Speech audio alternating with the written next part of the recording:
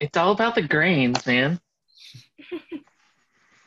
All right, so I am presenting today on principal component analysis, which is a, a multivariable statistic technique that I find extremely fun and interesting.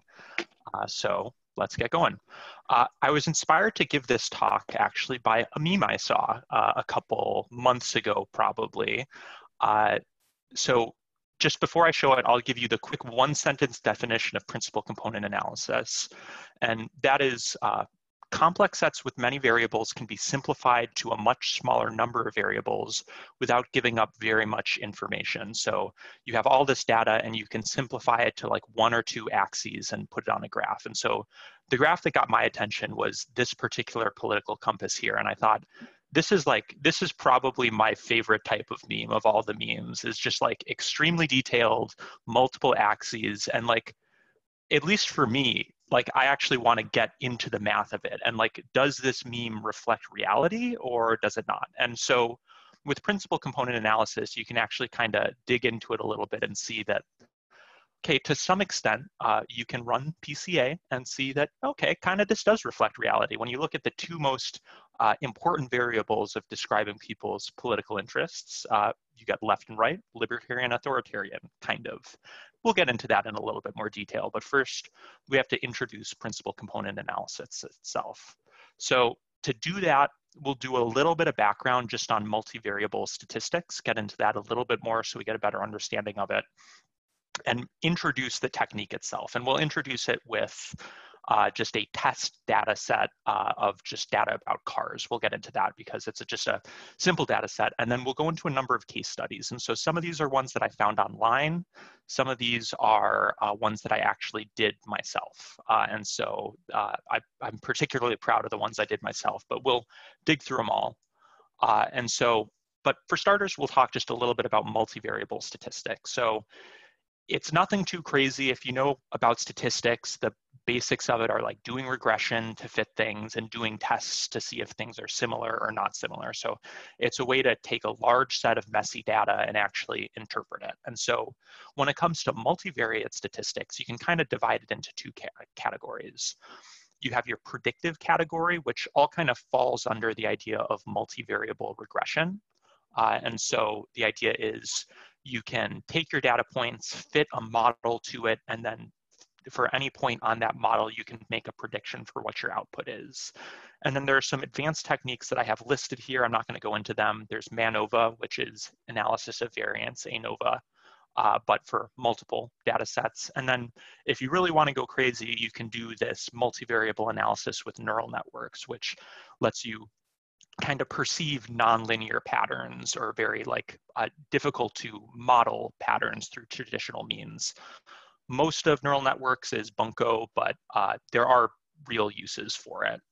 Uh, and then what interests me more is actually the analytical side. And so principal component analysis is kind of uh, the uh, parent of all of these different methodologies you can use in multivariable statistics. And so I have kind of a very basic example of uh, a dendrogram here underneath analytical that shows how similar cherries, grapes, strawberries, oranges, bananas are to one another, kind of using various statistical means, uh, various descriptions of these different fruits. And so you can actually use statistics to see what are and are not similar. And so this is called factor analysis or cluster analysis, uh, divided into four different clusters. And you can also look at discriminant analysis to see how do you divide the lines between the different clusters.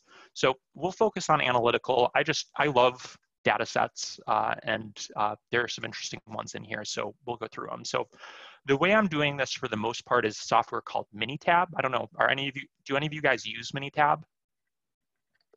No, I've not heard of it. No. It's, it's an it's an engineering software. It's most commonly used like by Six Sigma people, if you're familiar with that, uh, and just with like uh, like manu uh, following manufacturing processes. So you can create like uh, run diagrams, bar charts, just to like follow your manufacturing process and make sure uh, things are going as planned over time. So it makes multivariable statistics and statistics in general very easy for engineers. Uh, I say here Minitab is user friendly. Uh, for more rigorous analysis, you'll probably use R or Stata. I'm not sure if you've used either of those for a statistics class. Minitab is just kind of a wimpier version of that, but it's super quick and super user friendly. And so to walk you through principal component analysis and multivariable statistics in general, I have uh, this data set here about uh, just a bunch of different cars from 2004. I don't know the first thing about cars, uh, so uh, this is not the ideal data set for me, but as we walk through it, I think uh, anyone can understand this data. So, and so you can see all the different data points we have, uh, MSRP, dealer cost, engine size, cylinders, horsepower, miles per gallon, and then some measurements of the car's size. Uh, and so the first thing I do is the regression. And so I have just kind of some graphs that represent uh, regression here. Uh, and uh, let's see. Uh, yeah, so what I'm doing uh, is I'm predicting the MSRP from the various other measurements we're given. Uh, kind of, I, I left out uh, dealer cost because that would make it too easy. But you create this model and it's this very simple linear model for each of the variables and you try to guess what the cost is. And so what I have here is kind of a residual graph of every single measurement this is the difference between what the model says and what the actual measurement is. And you can see there are a lot of different ways to represent these residuals. Uh, this is kind of a normal plot. And so it shows the most extreme ones at top and bottom. So this most extreme one, I think it's a Porsche 911. Uh, the model doesn't quite work for that one because it's just really, really expensive. And same with these. These are, I think, some Mercedes-Benzes. Uh, and then also at the bottom, the model doesn't quite work out. And so you'd likely need to add some nonlinearity or even a neural network uh, to your model to make it fit a little better. And so just to go into that in a little bit more detail before we move on, uh, we actually have the various coefficients of the model. So you can see what does or does not uh, have an impact on MSRP. And so we have this one category p-value. And if this p-value is less than 0.05, uh, a statistics professor would say that it is statistically significant in terms of how it impacts uh, your MSRP. So your miles per gallon in the city for some reason doesn't correlate, but your highway miles per gallon does. Uh, but because this is just a linear model, we're not doing anything complicated, uh, they all end up in the regression equation at the end. It's just the uh, significant ones are often kind of a larger number or when they're multiplied like when you multiply this coefficient by horsepower it's typically kind of weighted more heavily than city miles per gallon which doesn't correlate. Why so cylinders is significant? Uh, i mean cylinders is so we'll get into that actually because cylinders is very similar to engine size and it's just if you have a 12 cylinder car it's probably going to be more uh, expensive than a four cylinder car Nathan, you're muted. What did you say? 12 cylinders is ridiculous for a car. I, I, I think there's a 12 cylinder. Like, how many production cars have 12 cylinders? I think there's a 12 cylinder in this data set. I don't remember. I'd have to check. Like uh, but that's like the extreme, and presumably that one is pretty expensive. Even like I think there, I think there is one. Anywho, so uh, that's the that's the regression. Now we'll talk about the uh, analytical. And so uh, once again, I've repeated the dendrogram we saw earlier with fruit, uh, now for car properties. Uh, and so we'll look at the dendrogram first, and you can see what's similar to one another. So unsurprisingly, MSRP and dealer cost are almost the exact same thing. Same with city miles per gallon and highway miles per gallon. They very closely correlate to one another. Uh, additionally, excuse me, uh, horsepower seems to correlate very closely to cost. Uh, and these three things together also seem to correlate closely to engine size and number of cylinders. And then all of these are kind of a measurement of the size of your car, and they kind of are on their own thing. They all correlate to one another. These things on the left all correlate to one another, and they all really don't correlate to city miles per gallon and highway miles per gallon. And when so, if so, I, the on the ahead. previous slide, so city miles per gallon and highway miles per gallon very closely correlates, and highway mile per gallon MSRP very closely correlates.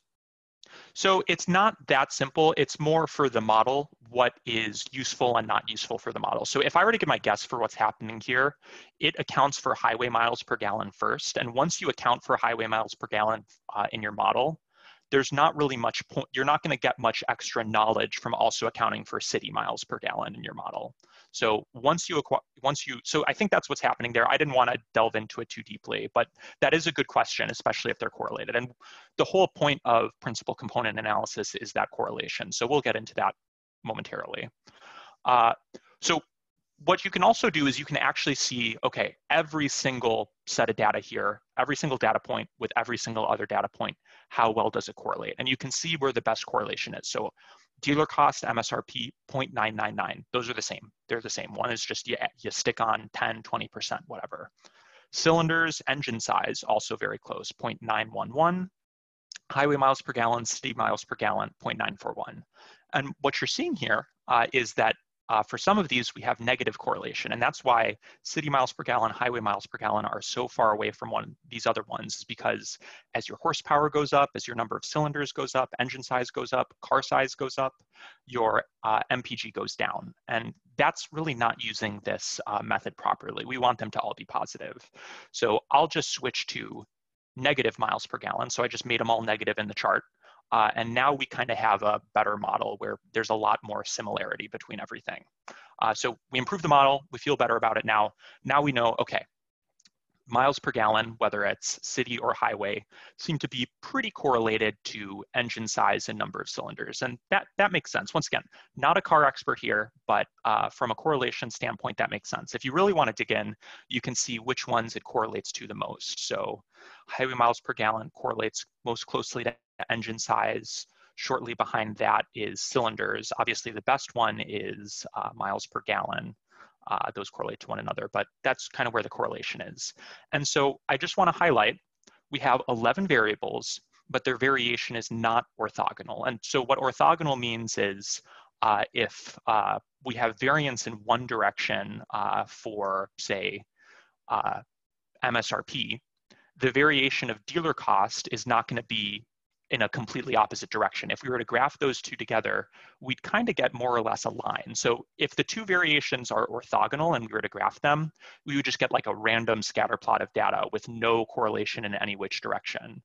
Uh, but if they're non-orthogonal, if they're correlated, we would likely see some sort of trend. And if it's near this 0.999, we would see a very like observable trend. So this is the key to principal component analysis. And we'll talk about this more in a bit, but for now, we're just gonna take this data set, uh, hop into Minitab, click the PCA button and see what we get. So we do that and uh, we get this graph here. And so we have two uh, axes on this graph, the first component and the second component. And so just to explain what's going on here, every single one of these data points is a car, uh, and it has a certain property on the first component and the second component describing how the car basically, what its properties are. Uh, so we have to do some digging to figure out what this actually means. Additionally, buried here, you'll see some lines, and each of these lines have uh, a little name next to them. So we'll blow that up a little bit. And so now we have our loading plot, which shows what each of the individual variables do on our principal components. And so we have a first component, second component. The first component, uh, as you go up on the first component, it looks like you have a larger and larger engine. As you go down, you have higher and higher miles per gallon. So you already have a pretty good feel for what this first component is. Uh, and then if you look at this one, if you go up, uh, it looks like your car gets larger, wheelbase in inches, length in inches. And if you go down, uh, your cost gets smaller. And you'll notice all of things like wheelbase, cost, they move in both of, both of the component directions. So uh, we'll get into exactly what that means, uh, but what you kind of need to understand is that variation in this first component and the second component are orthogonal to one another. So if you were to try to fit a line of best fit to this data, it would just have no idea what to do. There's not a trend up and to the right, down and to the left, straight up, straight to the right. There's no trend here because these variations are unrelated to one another. So let's kind of talk about exactly what that means, and then I'll open it up to questions once we go through this in a little bit more detail. Uh, so what we've done is we've created uh, a number of different principal components. So you have your first component access, your second component access, And actually, we go all the way up to 11. I show nine here for convenience, but uh, we go all the way up to 11 because we have 11 different variables. And so what you're looking at, you're all the way to 11. Uh, your first component uh, accounts for 0.646 of your variation. Uh, and you can see exactly how it correlates to each of these different variables. So your first component, uh, if your MSRP is high, if your dealer cost is high, engine size, all of these other than MPG, if these are high, uh, the component goes up. And if these are low, the component goes down. Principal component two is a little more complicated. It accounts for much less of the variation. Uh, so 0.171% of the variation is captured in the second component. Uh, and we'll go in, I'll show you exactly what these components mean. Uh, but as you go further on, suddenly you're looking, okay, this third component is only capturing, what, 8% of the variation, 3% of the variation, 2.5% of the variation. So with two data points, you can capture 82% uh, of the data that's in uh, your graph and it, it, it summarizes it, that data. You just have to then understand what your principal components mean. Uh, and often your principal components are extremely meaningful. So that's what we'll talk about now. So let's actually look at what is all the way at the top and all the way at the bottom of this first principal component. So our top four rightmost cars are the Mercedes-Benz CL600 two-door, Mercedes-Benz CL600 convertible two-door, Hummer H2, and GMC Yukon XL. So this is a little dated. These are 2004 cars. I did my best to get ones that look like they're from 2004, although I think some of them aren't quite right. But as you go all the way to the right, uh, you get these cars that are powerful, fast, big, although some of them aren't necessarily big, uh, but big uh, and expensive. They're all very expensive. And then as you go the other direction, we have the Toyota Echo four-door, Toyota Echo two-door, Toyota Prius, and Honda Insight, which is the one right here, which is lovely car. Uh, these are efficient, they're slow, they're small, they're inexpensive. And so you can know this by observing the cars, but it's consistent with the data we see, which is as we move to the right on our graph, we have cars that have a greater weight, have a greater length, have a greater uh, uh, size, more cylinders, bigger engine, more horsepower, uh, more cost. Uh, whereas as we go to the left, uh, we have cars that have good miles per gallon and small for all of these variables. So although we had 11 data points, what most of those data points were saying is is this a fast car or is this a slow car? Is this like a pricey fast car or is it a cheap slow car? And so we've captured that all and condensed it to just a single axis on the graph. And that's 61% of the variation in our data. Now the second principal component, we can also look at the extremes. And once again, it kind of makes sense. On one end, we have the Chevy Suburban 1500, Nissan Quest, which is this minivan right here, GMC Yukon XL again, and an Isuzu Ascender, which is, I believe, another uh, truck of some kind. On the other end, we have the Mercedes-Benz, the three different varieties, and the Porsche 911. So this second component uh, is uh, in one direction, uh, lumbering, big, and cheap, and in the other direction, smarty, small, and expensive. And you'll notice, I'm gonna jump back and forth a little bit. Small and big, expensive and cheap are on both of these axes. So these aren't quite, uh, these there are multiple things that impact like the size and correlate to the size and to the expense of your car. Uh, both component one and component two exist on both. Uh, even uh, sporty versus lumbering, uh, that's basically my description of this principal component. So what you're what you're doing here is you're you're learning what is the actual variation from car to car. So you're using math to tell you what makes cars different and what are the, in most simple terms, differences between cars? And you're getting it down onto one graph, two directions. You can do more directions, we'll get into that, but two directions, just like the political compass I showed at the beginning. And you're simply describing to the best of your ability, what are the differences between these cars? So in your first direction, uh, really flashy, powerful, fast cars, or really not flashy, slow, uh, efficient cars. On your second axis, big, big, big cars versus little guys uh, that are sporty. These ones can be cheaper. And so that's what we're showing here. On the bottom right, this is where our sports cars are. On the very, very left is, uh, I think the Toyota Prius maybe, no, the Honda Insight gas slash electric car, which existed in 04. Uh, and so that's, that's what we're seeing here is the actual variation of cars. So I don't find cars that interesting, so I don't find this data that exciting that we're kind of figuring out what the variation in cars are. But we will pretty soon, once we define principal component analysis in more detail, uh, go to data sets that I find more interesting. So as a little slide in between, uh, I've included another idea of things broken down into two components. So three of these different alignment charts, one for uh, spray faucets, one for units of measure of energy. I included that one for you, Nathan. I figured you'd get a kick out of it, specifically using kilograms to measure energy. And then one of my favorites, the various uh, Yankee hats.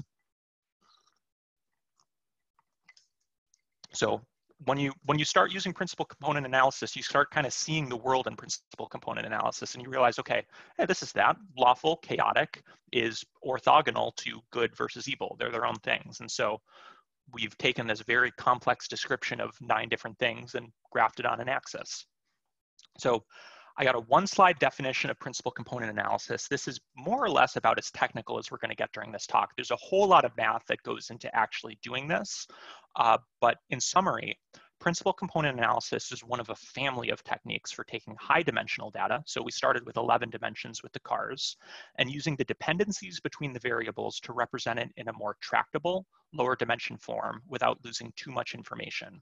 So to put it even more simply, PCA is one of the simplest and most robust ways of doing dimensional reduction.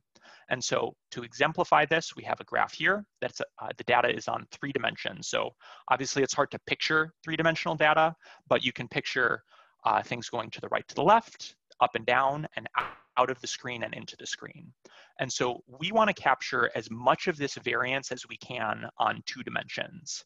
And so the way we do that, we reduce this from three-dimensional data to two-dimensional data by fitting a plane through here uh, that captures as much of that variation as possible. So what we have here is about the best we can represent this three-dimensional data in two dimensions. This is basically the only form of PCA that is actually visualizable, going from three dimensions to two dimensions, but you can do any dimensionality to any dimensionality as long as you're going down. So we went from 11 dimensions down to two dimensions. Uh, we're gonna do some other ones in the case studies. So before we jump ahead to the case studies, are there any questions on what principal component analysis represents, how it's done, what, what we're dealing with here? No. Good. That was Good. pretty succinct. Yeah. That, th- Yeah. This slide definitely sums it up. But yeah, that's awesome. Yeah, I hope I hope the picture helps because this is this is what's happening on 11 dimensions and there's more correlation or less correlation, but three dimensions to two dimensions, at least you can visualize. So if this makes sense, you're more or less good to go. And we're gonna get to some 100 dimensional data sets pretty soon. Uh, so things are gonna get spicier as we move on. Uh, that Uh, was so- the question I had.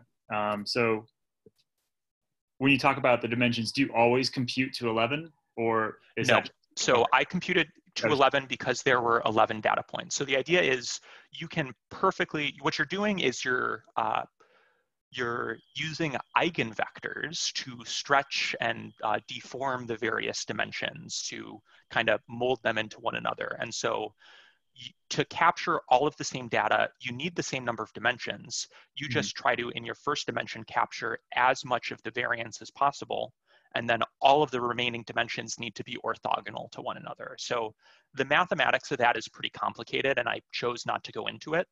Uh, but the idea is typically you can look at dimension one or two and sometimes three, four, five. Uh, and you'll tell you the full story even when there are five, 10, 15 more dimensions. So I grabbed some new examples. Uh, these ones are from New York Mag and Popular Culture uh, because I wanted to kind of grab the whole, whole variety of principal component analyses. So on the left, we have the Adam Sandler matrix, brilliant versus shitty on top, silly versus serious left to right. Uh, and you can see kind of what's on the extremes for each end. And I think that's a good, a good way to uh, divide Adam Sandler uh, films.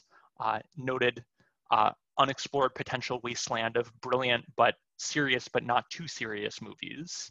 Uh, and then on the right, this is kind of hard to see, but the New York Mag kind of makes this every week. It's their, I think, respectability matrix or something. Uh, and it just is a bunch of different things that happened in the news. What's like, what would highbrow people care about versus lowbrow people care about? And what is brilliant? What do they like versus what's despicable? Uh, and so you can kind of get a feel for the news of the week uh, all across the board on this graph. I think, I don't know. I think I, I like this. I think it's very uh, New York liberal media EO as well at the same time. And we can actually get these dimensions, this shitty versus brilliant, despicable, despicable versus brilliant on the same dimension. We can rotate it and actually see some correlations here. I know, very exciting stuff. Nathan, your mind is blown. Uh, well, there, there's more where that came from, just you wait.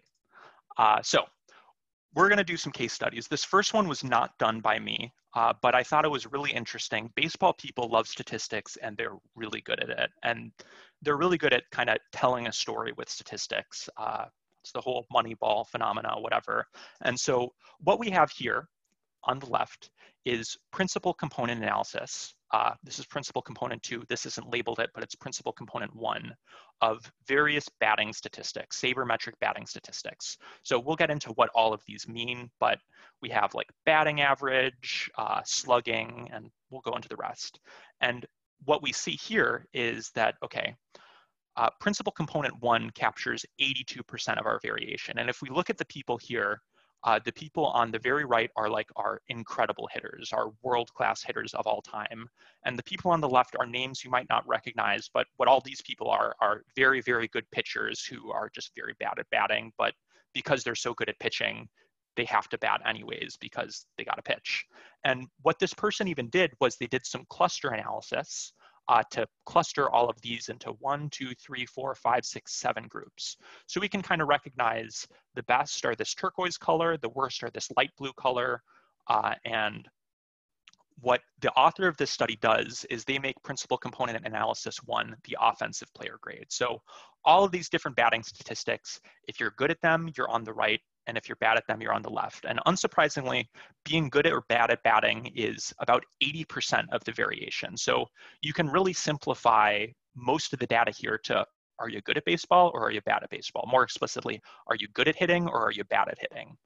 But these principal components two and three are also relevant. And so when you take out that first principal component, the first thing I notice uh, is that all of these colors are on top of one another. So now we're charting how everyone scores on the second component versus the third component. And so this is no longer a measure of player quality. Uh, wherever you are on this graph is a measure of something else. And so I'm gonna try to walk us through exactly what that something else is. Because just like the graph of the cars, each of these principal components means something this is the first one is only 11% of the variance. The second one is only 5% of the variance, but in my opinion, these are probably of significance. This fourth one, less than 1% of the variance, we can probably start throwing data out at that point, but certainly two and three, we should be able to hopefully learn something from. So let's dig into them in a little bit more detail and look at what all of these different lines are. So BA is batting average.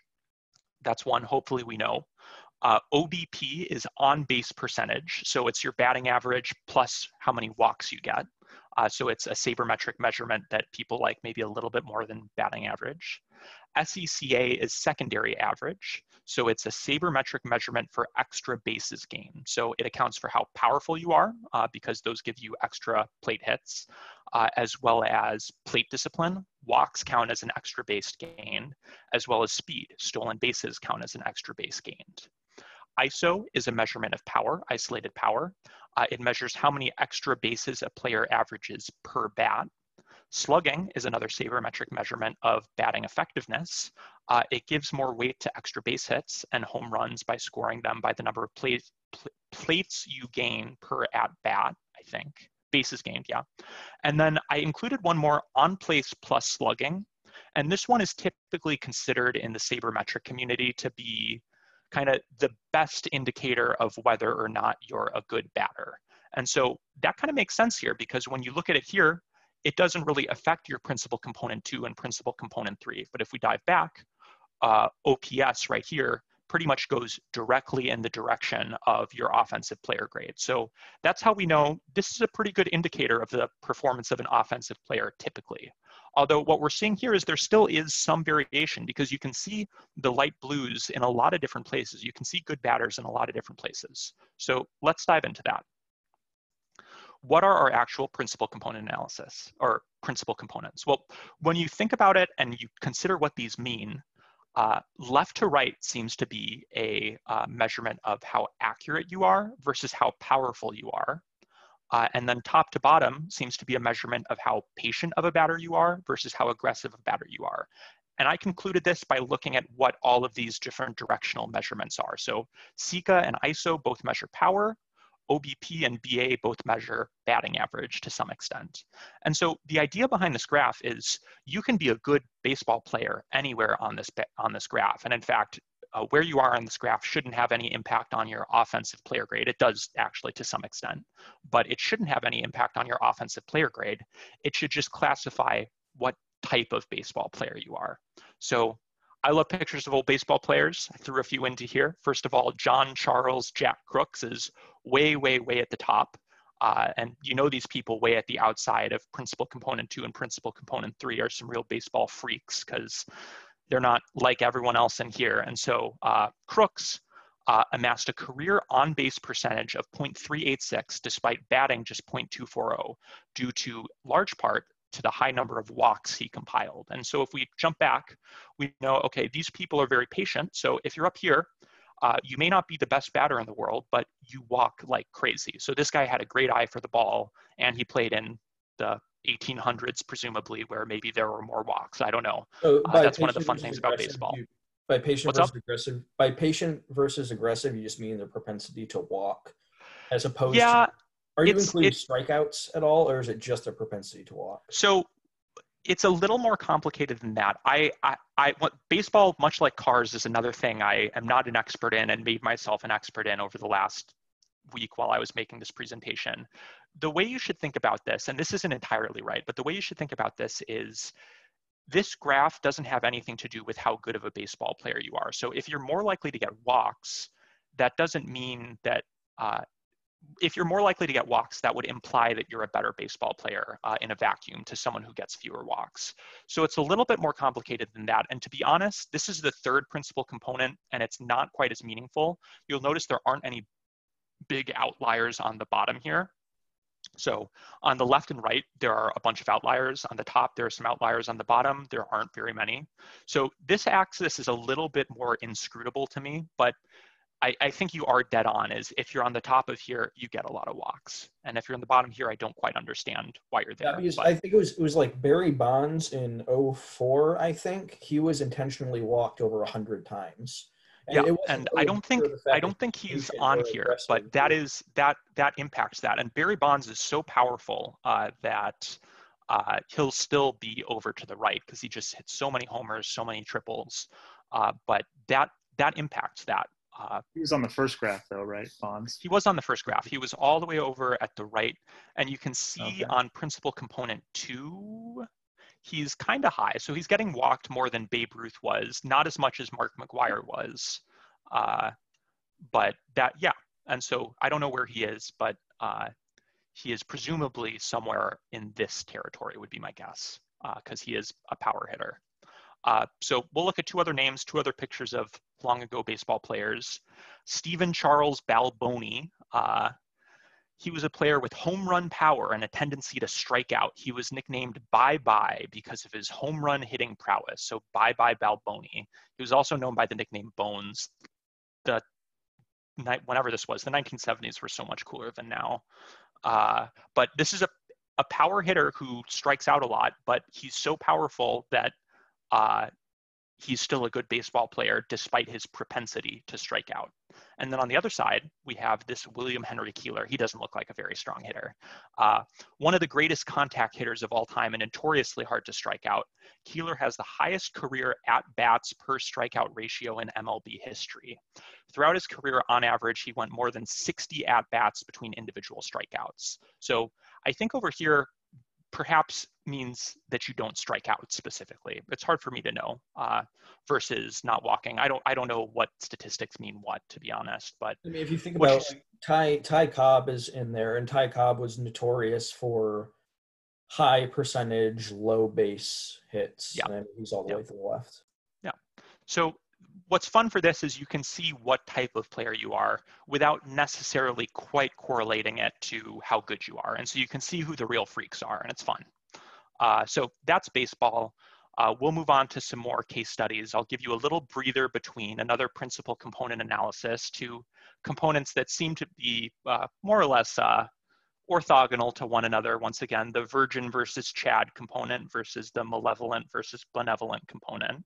So I'll give you a minute to take that one in. I don't know if any of you have any favorites. I like Zad, but I am a benevolent Chad, so I guess that makes sense. Uh, yeah. All right. Uh, so yeah, just a picture of like the equinox or something. it's just like all the planets are aligned and it's dad. Dad, yeah, I don't know what dad is to be honest. Oh, hey, buddy. A dog visiting me. Dog likes the graph. Uh, okay, so this next data set is actually one I compiled myself, and it was a pain in the ass to compile. There's no good way to get this data, uh, but what I looked at, because it was more available than other data, was 100 Senate votes uh, from the 114th US Senate. So this was 2015, so pre-Trump, uh, but uh, what we have here is every data point on here is a senator. Uh, senator's easier because there are only 100 people versus uh, 400 something. Uh, so that just makes life easier. And we're going to run principal component on analysis on this and see what our various components are. And so on the left to right axis, very unsurprisingly, our very first component uh, is 60%, and then it drops all the way down to 5%. So, and would it surprise you to learn that this first component is Democrat versus Republican? Because in what we're doing with principal component analysis is we're describing the actual variation that's happening. And so it's not like, uh, it's not like this necessarily describes the uh, worldview of each of these uh, senators, although maybe it does, who knows. But what we're describing here is in practice how their voting patterns vary. And the most important descriptor for voting pattern is there are bills that are voted on by Democrats and there are bills that are voted on by Republicans. And so that's 60% and then it drops down to 0.05%. And so this, you, you are asking, hey, how many uh, components does this have? This one has 100 components. Uh, and so in the first one, two, three, four, five, six, seven, eight, nine, 10, 11 components, we account for about 80% of the variation, but there's still another 20% of the variation not accounted for. And there's not much we can do about that because there's a lot of random noise in who votes for who, uh, who votes for what. Maybe not random noise is the right word, but there's a lot of noise that can't be captured by a, a traditional statistical model. But still, we'll look into this first component, make sure we know what's going on here. Uh, and then we'll dig into the second component as well and see if we can figure out what's what that's all about. So the first principal component, what I did here was I took the five on the very far right, uh, which are the Democrats. Let's see if I, yeah, I got that right. The far on five, the five on the very far right, which are all Democrats, then the 10 in the middle, and you'll recognize some names there, and the four on the very left, uh, which are loyal Republicans. And so what you kind of gather from this graph is, once again, we're not describing these people's ideology. We don't necessarily have the most right-leaning people here or the most left-leaning people here. What we have are the people who most consistently vote Democrat and the people who most consistently vote Republican over anything else. And that's, the, in practice, that's what the variation from senator to senator is. So unsurprisingly, Kirsten Gillibrand, Sherrod Brown, uh, Edward Markey, Elizabeth Warren are very consistently voting on the Democratic Party line. And similarly, Tom Cotton, Ben Sasse are uh, voting on the Republican Party line. And then on the middle, names you'll recognize, Joe Manchin, Susan Collins, Lindsey Graham, Lisa Murkowski are most likely to cross party lines is most likely what this means and uh, vote Democrat instead of Republican. But what you can see is this, there's this huge group on the right and there's this huge group on the left and there's not much in the middle. Uh, and that's kind of reflective of that first dimension. So typically, if it's like a random, random set of data, you would see it normally distributed where you have the highest concentration of the people in the middle and then it tapers off as you go to the sides. That's what the baseball chart looked like. Uh, this is more bimodal and that's not a surprise. Our Senate, uh, at least in this direction, is bimodal. So now we'll look at the second component. I thought this one was fun. Uh, and so this right here is the top of the graph, this right here is the bottom of the graph. And you'll notice there's a U shape, so the people on the bottom of the graph are very similar to the people who were kind of at the middle of our first graph, just because there were about 50 on each side. But if you look at the top, very, very top, Ted Cruz. So trying to figure out what this measures exactly, but we got Ted Cruz right at the top. We got Rand Paul, Marco Rubio, Jeff Sessions, and then we also got Bernie Sanders, Elizabeth Warren, Edward Markey, Kirsten Gillibrand. So what's going on here? I don't know. Uh, and I tried to figure it out and I couldn't really figure it out. Uh, I was looking into specific cases. So you'll see like this 41 here, I looked into what exact case that was. This was like some appropriations and a Tom Cotton amendment to some appropriations bill about how much doctors get compensated for something. And only like Ted Cruz, Ben Sasse, Rand Paul, Marco Rubio, Jeff Sessions, and Tom Cotton voted for it. So this is presumably a very right leaning thing, but there's correlation here with whatever Bernie Sanders and Elizabeth Warren is doing. So I don't know. There's also presidential aspirations. I, I, think that's part of it. And then additionally, there's some extra noise here for presidential aspirations because uh, if you don't vote, uh, so if you voted yes, I gave you one. If you voted no, I gave you zero. And if you didn't vote, maybe because you're off campaigning, I gave you a 0.5. And so that introduces some noise to the data. But this was 2015. So like, yes, uh, Bernie Sanders was campaigning in 2015, but I don't think Warren or Gillibrand or Markey were campaigning in 2015. And I don't think Mike Lee and Richard Shelby were campaigning, or even Ben Sasse were campaigning in 2015. So I don't know what's going on here. I just decided to uh, label it cool, not cool. These, these people are interesting. We'll, we'll give them the cool label. So that's what the second axis is. It's only 5% of the variation. It's a, we're, we're taking 100 data points. We're putting it down to two. So this is kind of a weakness of principal component analysis is we don't we don't know what the second component is uh, sometimes we will but right here we don't know what the second component is but the one thing i do want to point out uh, about this graph uh, is the uh, horseshoe shape to it. And I'm not sure if we have some uh, theorists on political analysis and the expert horseshoe theory uh, to describe various political leanings. Now, something doesn't quite add up here. Uh, we got things in the wrong place, but uh, if we rotate it, we got uh, Ted Cruz right here as the Islamist and Bernie Sanders as the communist. So, you know, maybe maybe so that that's just my that's just my basic horseshoe theory analysis that must be true and definitely isn't a figment of the data that we're looking at here. Uh, it's got to be the horseshoe. Uh, but what i wanted to do was actually uh, look okay how do actual people vary? Uh, because that's when we're talking about the uh, uh, compass of political ideologies that's that's that's what inspired this. Let's see if we can get that. And so I'm, i was trying to think in my head like are there any other principal components in that that i could think of? I saw this one online. I wasn't sure. Maybe this is what's going on. I wasn't sure. Uh, maybe maybe not. Hard to say. Uh, but uh, a enterprising computer programmer uh, scraped data from debate.org uh, which is a website where people upload their political views for some reason. Very normal people upload their political views. Uh, and so he scraped uh, 17,000 people and fed it into principal component analysis. So this data is from uh, 20, 2003 maybe, I don't know, because it has Afghanistan war, it doesn't have Iraq war. So it's old data, war in Afghanistan, I should say. Uh, war on terror as well. So it's old data, but it's meaningful and it's one of the best data sets of this kind. I didn't want to dig through, this is just too complicated of data for me to bother with. So uh, I just went with what was provided to me. And so when you look at the users of www.debate.org, uh, you can actually see what all their political ideologies are. So you got mostly conservatives, liberals, undecided. You got a lot of libertarians, debate.org, surprise, surprise. Uh, you got a few socialists, got some progressives, anarchists, communists, labor even. So you got a wide variety of political ideologies. How is how is somebody taking the time to go onto a debate website yet they describe their political views as apathetic? You know, this was 2004 and it's only 1.82 or 2002, 1.82% of them. They probably are very uh, like uh, passionate about, I don't know, like anime or something that's bringing them online, but politics, they're apathetic, but they still want to debate. So I don't think that's my guess. in 2004 because one of the topics was Barack Obama. Oh, shit.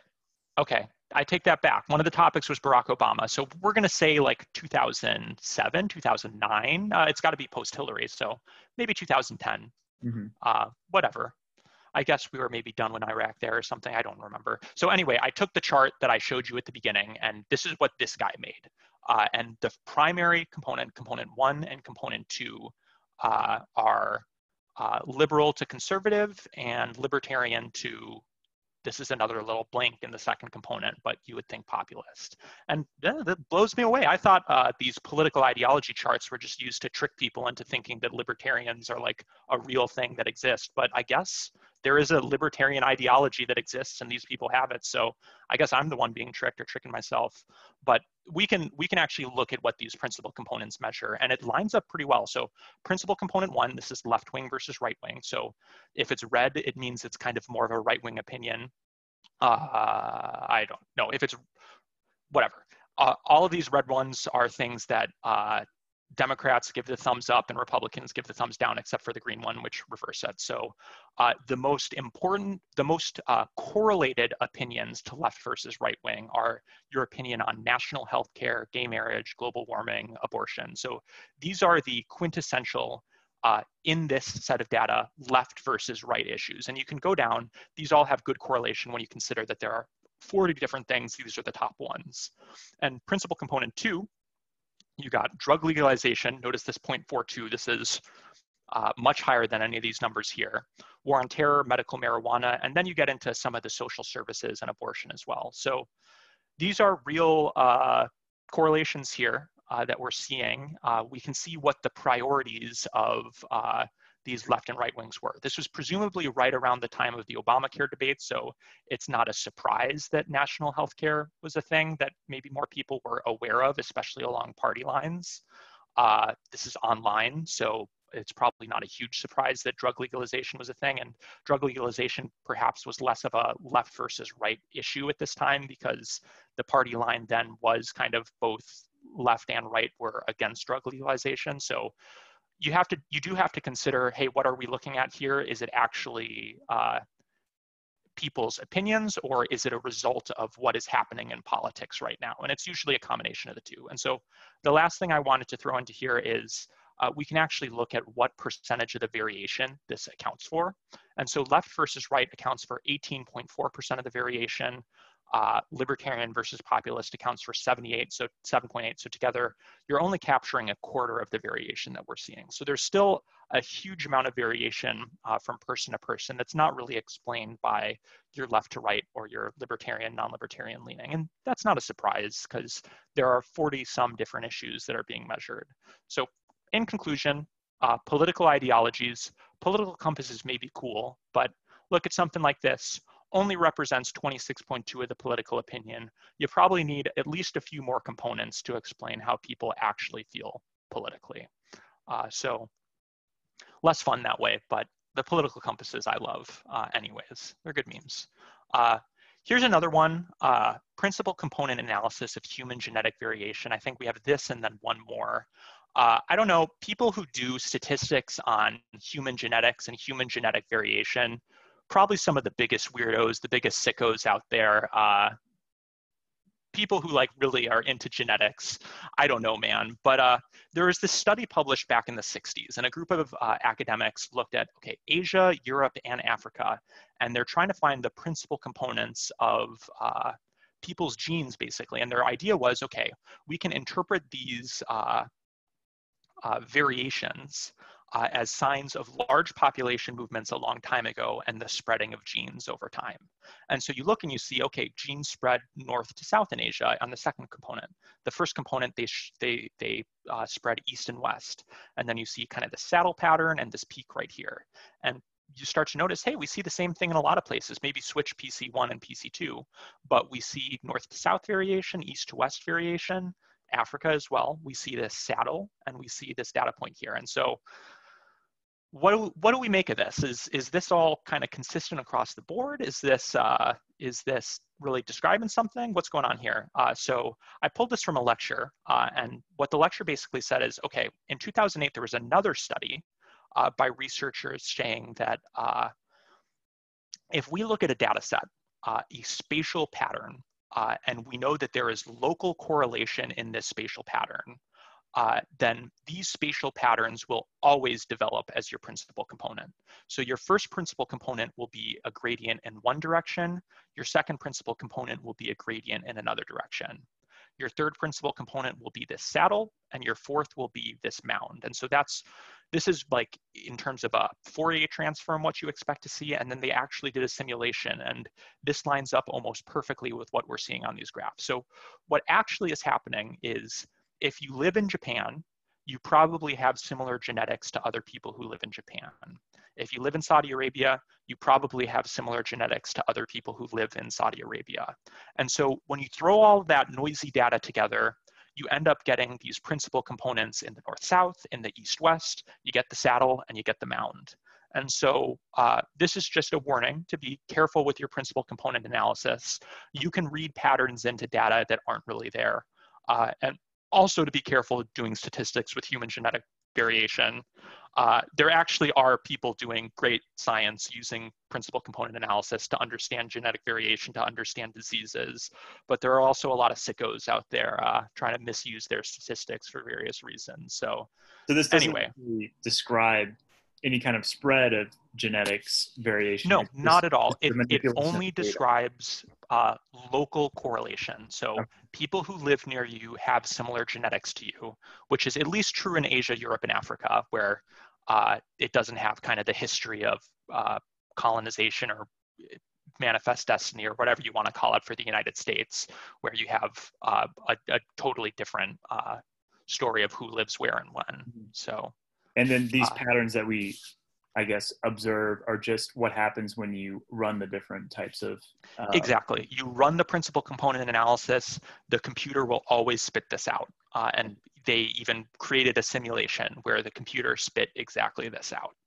Tracking. So there might be like a little noise here like this little dip through africa. Maybe that means something. Uh, maybe it means that people who live here are the similar to people who live further north. But for the most part it's just uh, in, it's it's not telling you a big story, and that's why every continent is the exact same. And if you were to combine all three of them, you would just get this on an even larger scale. So it's it's it's pretty much useless. So this is the last case study. So before the last case study, I have another example uh, of music principal component analysis. So this one is actually on the political compass. You got your authoritarian artists and your libertarian artists, your left-leaning artists and your right-leaning artists or music in the term, in the case of show tunes or bot automated YouTube family finger song with Elsa and Spider-Man. Uh, but we also have various female singers uh, which ones are the capitalists, which ones are the Marxists, which ones are edgy, which ones are soft. And again, okay, we got capitalist and Marxist here, so maybe we can make it fit a little bit better if we do this. And now I forget where Taylor Swift is, but Grimes Taylor Swift is on the capitalist right side. What's up, Nathan? Grimes has had such a fall from grace. Yeah, she is. Oh, you know, Elon she, she would have been presumably closer to the bottom at one point in time, I would assume. Jeez. But you hate to see it yeah, so that's that's another principal component analysis. Once again, just like the Adam Sandler ones, edgy, soft, authoritarian, libertarian, not the same, but it's a good it's a good uh, fun comparison to do. So music data, I had so much fun doing this one. Uh, I really enjoyed this one. Uh, what I did was I took from 2019 uh, these uh, 1, 2, 3, 4, 5, 6, 7, 8, 9, 10, 11 different publications, and I took their top 50. They pretty much all of them published top 50 lists, uh, and I used that uh, to uh, like rank all of these different artists or all of these different albums actually, uh, and assign a score to each of those albums. So if they ranked at number one, it got a score of one. Uh, and so the idea behind that is you can't just take uh, what a uh, what a website uh, scores something because certain websites don't review certain albums and that kind of represents the taste of that website and so if a website doesn't review an album, what, what score does that mean it'll give it? Does it mean it'll give it a zero? Does it mean it'll give it like two stars out of four? And also you have your pitchfork over here giving you numerical scores of like 7.2 versus your billboard giving maybe three and a half stars using stars. So it's not a great comparison, uh, but the ranking is a little bit better. And so if you're not ranked, you're just given a score. I just gave them a 75 because it's one through 50. We'll just give you a 75 if you're not ranked and assume you're about there, even though that's not always the case. And so I took all of the top 50s for all of these guys, and any artist that was listed by more than one publication uh, was uh, given principal component analysis. If you're only listed by one principal publication, I kind of just threw it out because it's too much noise in the data. But if you're uh, listed by more than one publication, uh, you got put on here. And so every one of these dots on the graph is an album. And once again, these two components you see, they're very orthogonal. You couldn't run a graph through here in any nature. And you can actually see which publications are similar to one another. So Pitchfork, Stereogum, Vice, uh, hopefully you've heard of Pitchfork or Vice, maybe not Stereogum. Do you guys know who Anthony Fantano is or what Rate Your Music is? Yeah, he's the uh, the baldish guy. He's a, he's a guy who yeah he's a guy who reviews music on YouTube basically, and he has a like a fan base basically on 4chan and on Reddit. Uh, so those type of people align with Anthony Fantano, and then Rate Your Music is a similar website uh, populated by people from mostly 4chan and Reddit, and uh, they kind of rate music themselves. So th this is the people's voice, you could say, just a very specific subset of people, just like debate.com was a very specific subset of people. Uh, then we got Rolling Stone, which hopefully you've heard of, Billboard, uh, NME, Uproxx. Uh, these are other like, these are some of the like uh, almost clickbait websites to some extent. And then Complex, they cover specifically hip hop, uh, and Thrillist, I don't even know what Thrillist is. Nathan, was did you did you have uh, did you take issue with my description of NME or? NME. Yeah, they're they're so a real website. NME now is, by my understanding, a little bit different than they used to be. They used to be like an actual real publication. They're out of the UK. Uh-huh. It was New Music Express, but I think they closed down their print publication because they didn't have like any readers.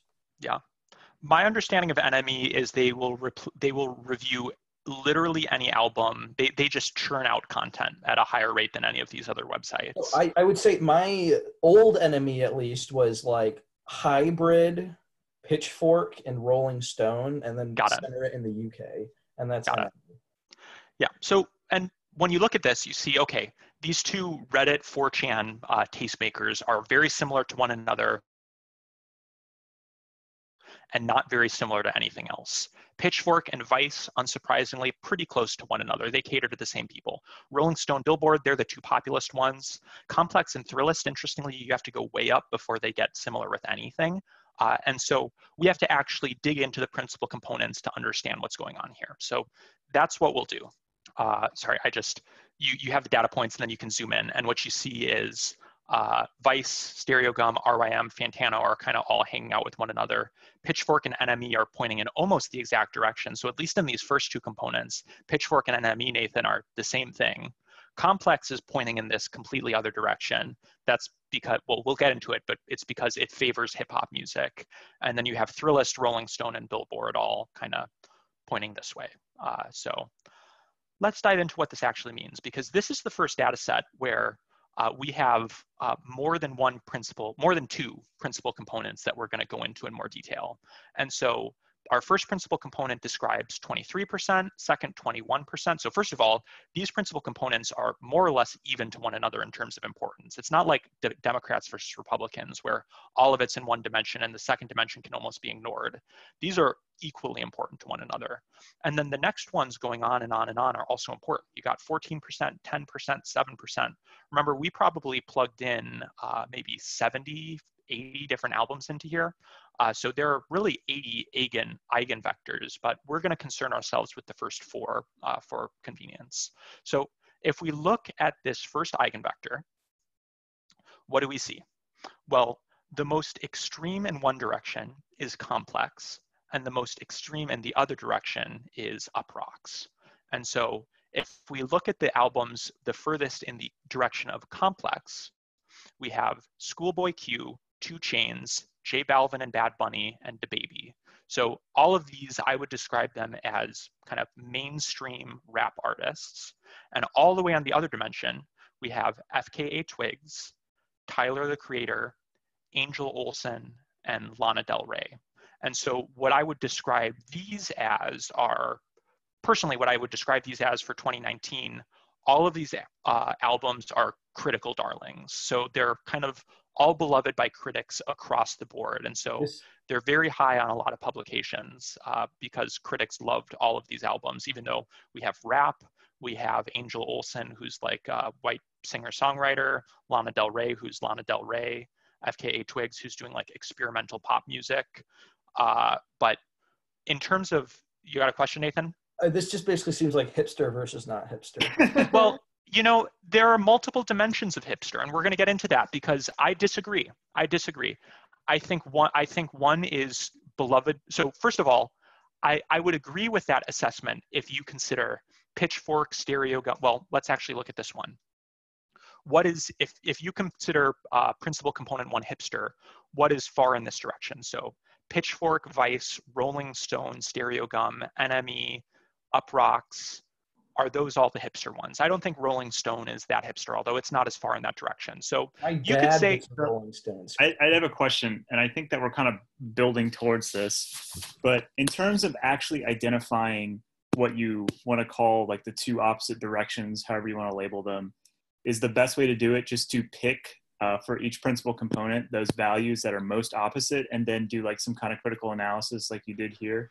So uh, that's one. There, there are a couple of different ways to do it. So you can look at the individual eigenvectors and you can see that one direction is complex, the other direction is Uproxx. And so I know that complex likes mainstream hip hop and all of these other ones don't like mainstream hip hop or at least some of them don't like it as much. Thrillist and Fantano, for example, are and Billboard are all a little bit more friendly to mainstream hip hop than, say, Uproxx, which I don't actually know what this publication is, but I think it's just for like extremely white white people. Uh, and so there's no, no, no, no mainstream hip hop on Uproxx. So in my opinion, this first component, and I, I cheated. I know what components two through four are, but I think the best description of component two or component one is uh, critical darling versus mainstream hip hop. Uh, and so that's a, it's a very specific description, but the idea is we're using principal component analysis to see what actually varies from publication to publication. And so some publications really like to go with what is like the consensus critic favorite, and some uh, don't do that and instead go mainstream hip hop. And that describes in reality what the variation you're seeing is, and 25% of that, 23% of that variation. So we'll jump ahead to the next one, principal component two. And so on one direction, we have RYM, uh, Rate Your Music, and close behind is uh, Anthony Fantano and Vice. Uh, and on the other direction, we have Billboard. And so Billboard is kind of the most populist uh, publication of all of these because they just care. Not, not entirely, but they care a lot about who gets listened to the most. And so in one direction, we have Vampire Weekend, Taylor Swift, Ariana Grande, and Billie Eilish, who hopefully you've heard of all four of these. On the other direction, we have Black MIDI, Lingua Ignota, Charli XCX, and Billy Woods. So how many of these have you guys heard of? Just Charli, and only because of Nathan. I love Charli. Have you heard of the others, Nathan? What's that? I've have you heard, heard of the others? I've heard of Black MIDI and Charli, or I've listened to those two. I may have heard of the other ones, but I'm not really familiar with them. Yeah, I've, I've, I've never heard of Lingua Ignota before making this list. I've heard of Black MIDI, but never got into their music. And then I happened to stumble upon this album because it was unsurprisingly high on RYM, and I was check RYM and checking that out and stumbled across it. Uh, but this component I would consider basically mainstream, which it's funny to picture Vampire Weekend being the most mainstream album, but mainstream in one component versus obscure in the other component. You could also say low, uh, that wouldn't be right. I was going to say lowbrow versus highbrow to use the lingo uh, from our other things, but I don't think that's accurate here. I think it's more, these are artists that everyone is, has heard of and you can't escape. These are artists who you have to be like plugged into the scene, maybe less so with Charli XCX, but these are artists who you really need to like maybe in the uh, community uh, to know of. Ubiquitous versus obscure. Yeah, I think I think that's exactly what this is, which once again blows my mind that Vampire Weekend is the most ubiquitous because they were like an indie band at one point in time. Uh, but maybe to music critics, and these are music critics doing this, Vampire Weekend is extraordinarily ubiquitous. Vampire so, Weekend's a monolith. Vampire Weekend is a monolith. Uh, all right, so we'll jump to principal component three because these are still relevant. This is 14%, so this is almost as relevant as the second one and we have Pitchfork over here up high, and then Complex and Anthony Fantano very low in the other direction. So on one side, we have uh, Little Simz, Tyler the Creator, Billie Eilish, and Lizzo. And so uh, on the other end, we have Alex G, Jenny Hval, Big Thief, and Jessica Pratt. So Nathan, this is the one that I felt was extremely hipster. And the, the bottom here is the pitchfork direction. I bought my uh, sister and, I bought my sister a Big Thief album for Christmas, and she's very hipster. So I would say I, yeah. I think Big Thief is overrated. Uh, that they are very hipster. Uh, so I, I think that this is the hipster axis, and this one is a little hipster because like FKA Twigs and Angel Olsen on the same axis, like that's that's that's for people who like their pitchfork end of the year list. Uh, but I think this one really distills uh, hipster and nothing else uh, versus Tyler the Creator, Billie Eilish, Lizzo. These are kind of more populist artists, maybe. Uh, certainly Tyler the Creator and Billie Eilish, I picture them uh, having kind of like a young multicultural audience, like uh, representative of a lot of people who like them.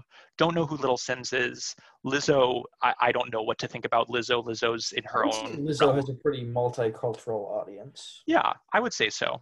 Uh, and I, so I, I don't know how to categorize this end other than you could also categorize it as what Pitchfork hates. The problem with that is Pitchfork loves Tyler the Creator, but you could categorize these as the anti-Pitchfork artists, the anti-hipster artists. If it was truly anti-Pitchfork, Childish Gambino would be at the top. Yes, well, Childish Gambino didn't release an album in 2019, I don't think. So that's what's saving him from being ranked. Was he on anyone's end of year lists anyway? I don't think if so. Ch- just Childish Gambino, the the person, yeah. Uh, number two, right behind Lana.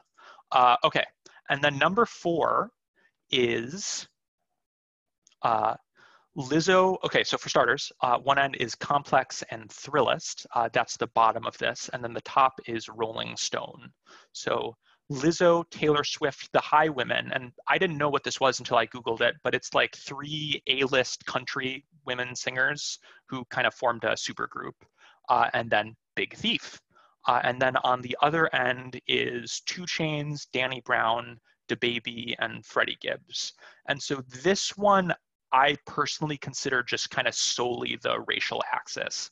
This is music that primarily black people listen to. This is music that primarily white people listen to, with Lizzo right at the top, Nathan. So that's why I was saying I don't see her as a artist with multicultural fans. You're muted. Nathan, you're muted. What I was saying was I think that this might just be men versus women. It could be. No, I think that I think that's very accurate too. I that one popped through my head as well. Uh, and uh, which which publications are feminist and which publications are not friendly to feminism? I would I would say Rolling Stone's probably the most masculine of all of the publications. Yeah, and so actually, let's see where RYM and Fantano are because I consider those to be very masculine. Uh, I guess Fantano more so. So it's I don't know it's hard to say, uh, but I think that I think that could be right. Like I, certainly that describes Lizzo, Taylor Swift, Highwomen, and Big Thief. So and these are the opposites. So and maybe it's both of them. Maybe they're correlated.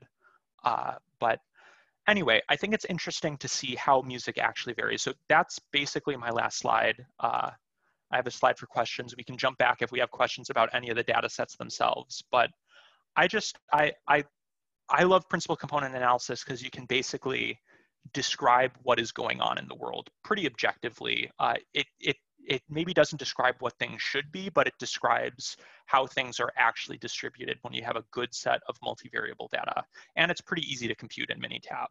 So yeah, questions, comments, requests for other data to do PCA on? I have a comment in that this presentation is like a magnum opus. This is beautiful. This is so good. Yeah, it was really good. I, I told Nathan that. Uh, I told yeah, Nathan that it was possibly the greatest presentation anyone has ever made. Uh, what? So what I was saying was, I don't know if anyone here has seen The Good Place. Oh yeah. Um, you know how they talk about the person who got closest to predicting what the afterlife is like is just some random dude in the 70s. Yeah. I think 10,000 10, years from now, someone's going to ask an omniscient being what was the greatest presentation ever made, and they'll point. yeah, that sounds accurate.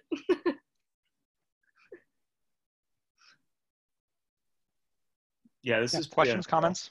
Uh, I'm just trying to think of like all the things I'd like to see broken up into yeah. dimensions. Well, so that that's the thing is the next presentation I give, whenever it is, could just be, hey, let's throw five sets of data into here. I'd have to gather the data. I'd have to analyze the data. I'd have to blah, blah, blah, blah, blah. But I enjoy it. So with this data, is it possible to like, let's say with the cars, for example, you do it for one year and then the data proves to be fairly accurate if you try and predict MSRP for cars from different years?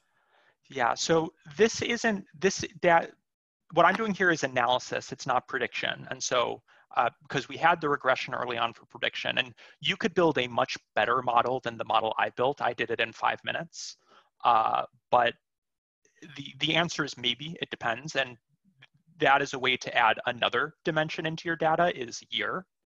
Uh, and that, that's what's fun about multivariable analysis is you can always just add another dimension. Uh, and so year could be another one of those dimensions. Uh, but with multivariable statistics, yes, you could, and you could use that to see, okay, what has changed with cars over the years? Have they gotten cheaper or more expensive? Have they gotten more powerful? Have they gotten better gas mileage? Uh, so you can you can kind of run with all of that, and you can also see see how the axes of PCA have changed. You can either plug your old data into the principal components, or you can see what were the principal components in 2004 and what were the principal components in 2018, and do they line up with one another? The challenge would be finding the data set. I found the 2004 one because it was used for a statistics class, but uh, certainly would be doable. So yeah, one of the things I was going to ask, and um, this may not even be relevant to the things that you talked about, but like the big division in statistics is like the frequency versus Bayesian analysis. Mm-hmm. Is would this factor more into, I guess, the frequency than the Bayesian? This would be the frequentist interpretation, I think. Okay. It's it's really neither because you're not you're not doing prediction, and so both the frequency and the Bayesian, the idea is you're doing prediction and you're trying to uh, uh, update your model uh, and so the, the regression that I did at the very beginning is more or less of the frequency school. And the one of the one of the hidden things they don't tell you is the Bayesian and the frequency stuff. You often can derive the exact same relationships from them. Uh, it's just whether you use all the data at once or whether you start somewhere and then approximate a model over time, which is what Bayesian is. But that's not particularly applicable to the principal component stuff. The principal component is most similar to uh, just kind of multi uh, linear algebra. Uh, mm-hmm. Uh, you would compare it to linear algebra because what you're doing is you're taking a matrix and you're uh, using eigenvectors to modify that matrix. Gotcha.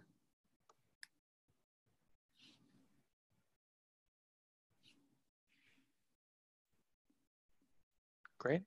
Well, if there aren't any other questions, keep thinking about it because uh, I would happily do another uh, presentation just digging into data in more detail and uh, figuring things out. I think this is, I think this is very fun and very, uh, it, it's fun to, it's fun to like learn things, but it's also fun to kind of over interpret the data like we were doing with the various music and argue, hey, is this, is this white versus black? Is this uh, feminist versus anti-feminist? Is this, what, what's going on here? Is it both?